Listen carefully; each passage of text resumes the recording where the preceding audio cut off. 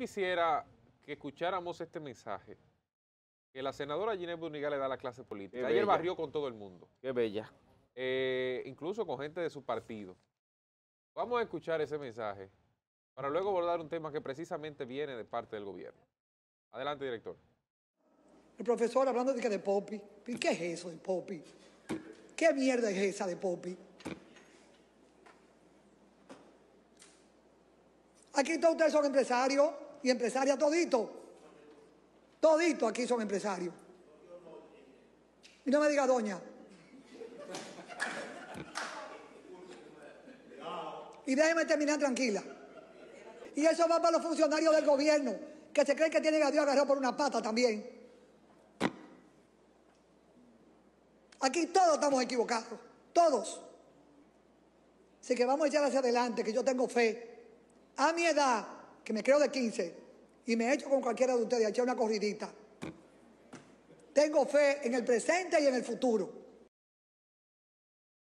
Pero doña, Eh, Qué doña fuerte. Ginette está Ginette- fuerte. Ginette le entró a todo el ¿Y mundo. qué es lo que es una Así corridita? Una corridita, corre. Corre.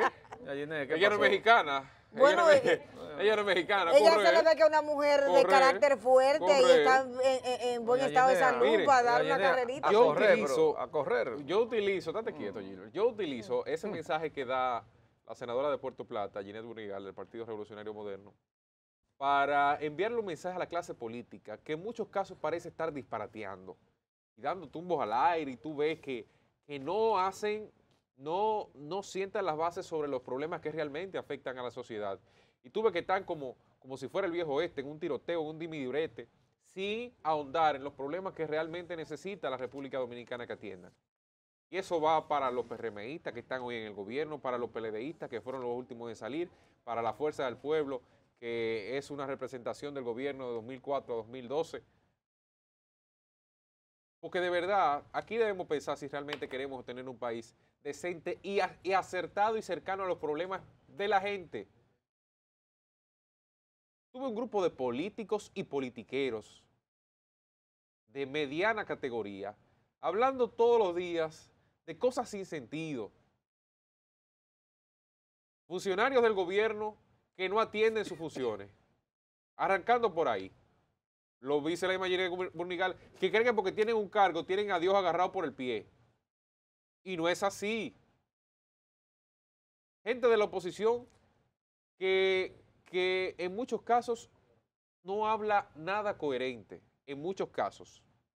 Debo decir que han hecho propuestas en muchos casos que también son sumamente interesantes y el gobierno ni caso le hace, ni atención le presta.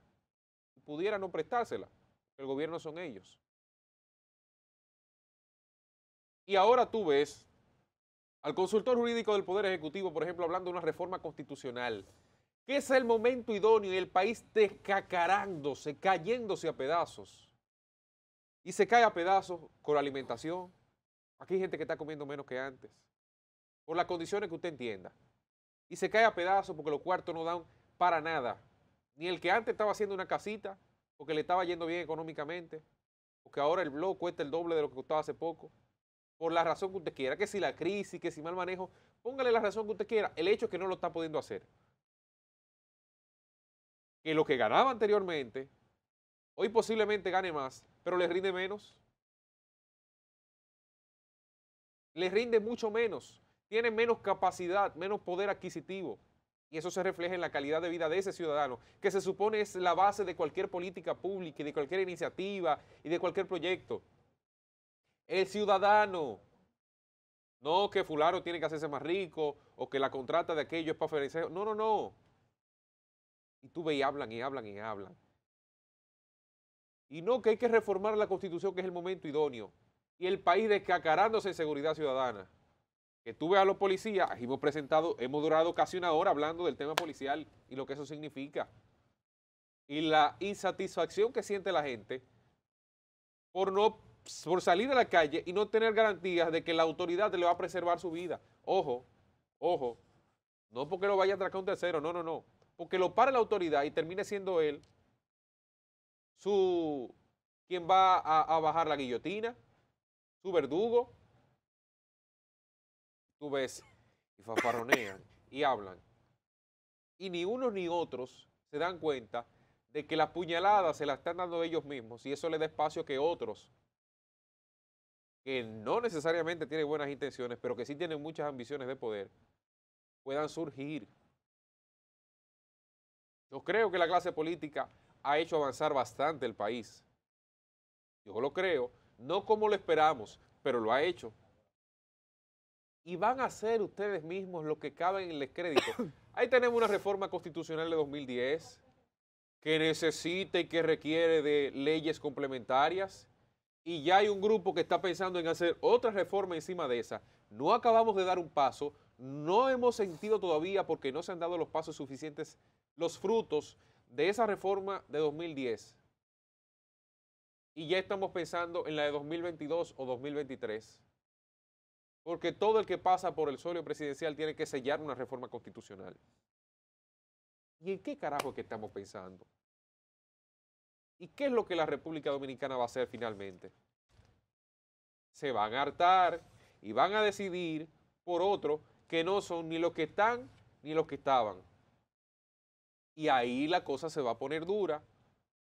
Y usted verá el caso, verá un Boric dominicano que asumió los otros días, no se ha sentado bien, no ha calentado la silla presidencial y ya la popularidad está en el suelo. Y Chile llevándose lo que lo trajo, porque se equivocaron y se hartaron de estar relativamente bien. Pero se hartaron porque sí. No, lo hartó en alguna medida la clase política, pero tú ves el caso de El Salvador, que está bien, que está desarrollando, sí que aquello, pero posiblemente tú tengas un desarrollo de un tirano ahí. Pero vete a Perú.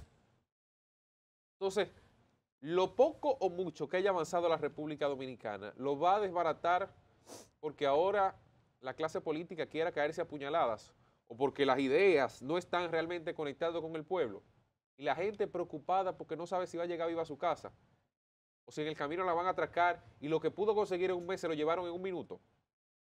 Y aquí hablando de reforma constitucional y de otras pendejadas que nada tiene que ver con el real sentido de lo que el ciudadano necesita para su, para su desarrollo. Piensen bien, toda la clase política, los que están dentro y los que están fuera, que en cuatro años, cinco años, en, diez años, viene un tigre, desbarata todo, arrasa con todo, y ahí eh, la culpa la tendrá la población, porque si en algo son cinta negra los políticos, es poniéndose un, un manto de vinil para que todo les resbale.